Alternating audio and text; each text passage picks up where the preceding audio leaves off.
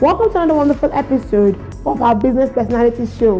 You know the vibes on this show, we bring you the profiles of people who are deliberately leaving their footprints in the sands of time, people that are making the marks and building and shaking in the media, entertainment, and whatever industry, so to speak.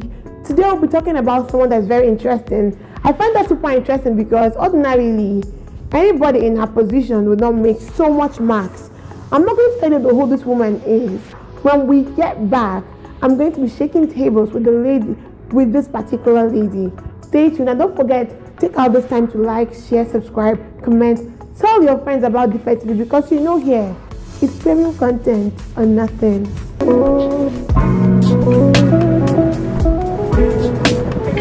Welcome back, guys. So before we went on the break, I told you that I'll be discussing someone, a very phenomenal woman, someone that you legit least expect. She is none other than the first lady of Ekiti State. I know, right? Amazing. Bisi Adeleye Fayemi. This woman is one to me. Like, legit, her profile will have you dumbfounded because nobody would expect that the first lady who see pretty is making so much marks. Bisi Adeleye Fayemi was born on the 11th of June 1963. She, she was born in Liverpool, England on the 11th of June 1963. She received a bachelor's and master's degrees in history from the University of Ife, now Obafemi Awolowo University, Nigeria. She also received an MA in Gender and Society from Middlesex University in the UK. She is currently the CEO of Above Whispers Limited, specializing in leadership development for women, and she runs an online community called AboveWhispers.com, where she writes a weekly column called Loud Whispers. She was until recently a UN Women Nigerian Senior Advisor and was recently appointed as a visiting senior research fellow at King's College, University of London.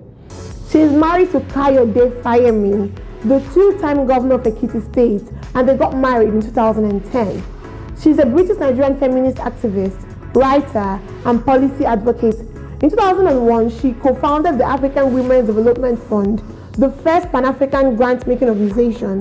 She serves as a UN Women Nigeria Senior Advisor and was appointed as a visiting senior research fellow at King's College in University of London 2017. I'm going to pause for a minute. Can you see the profile of this woman? She is not just your sitting pretty governor's wife. She is doing so much in the media industry. She led the campaign to enact a gender-based violence prohibition law in 2011, which was later revised in October 2019, and an equal opportunity bill in 2013 and HIV anti-stigma bill in 2014. She continues to work on the implementation and sustainability of this initiative as the First Lady of Ekiti State for the second time. She serves on the executive board of the African Women's Development Fund. She is the chair of the advisory group of Nigerian Women's Trust Fund and also serves in the governing council of Elizade University in Nigeria. She is currently the chair of Gender-Based Violence Law Management Commission in Ekiti State and chair Ekiti State AIDS Controlling Agency.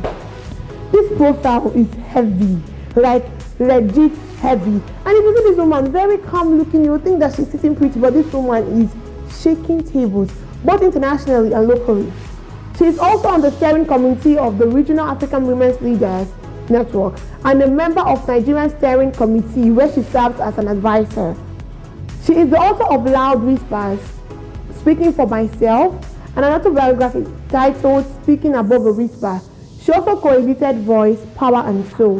And there's something I, I realized about her books. I think they are books that help you find or discover yourself, that gives a voice to both women and men. So I think she's a very, very inspirational writer. So moving down to her awards and her recognitions, she was given the Changing of the Face Philanthropy Award by Women's Funding Network in 2007 and was named one of the most 20 most influential African women in 2009 by New African magazine. In 2011, Women Deliver listed her as one of the top 100 people in the world advertising the rights of women and girls. In 2019, she was awarded the 2018 Zik Leadership Prize for Humanitarian Leadership by Public Policy Research and Analysis Center.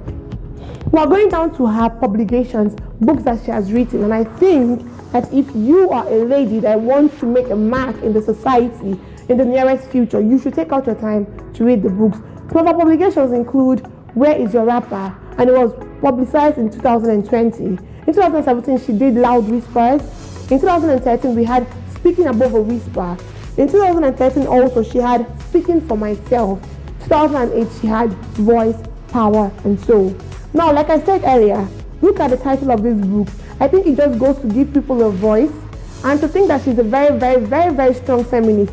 So if you're looking at someone to look up to as a young girl that's trying to find her voice and her foot in society, Bisi Adeleye Fayemi is one to look up to. We'll be joining the show on this curtain here, and I'd like to say that if you are not following DFET TV, you are sleeping on bike.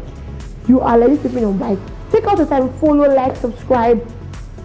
Tell other people about DFET TV because you know what we do here. We give you content that you cannot get anywhere else. So I come your way next time I win fortune. Keep it locked in on DFET TV.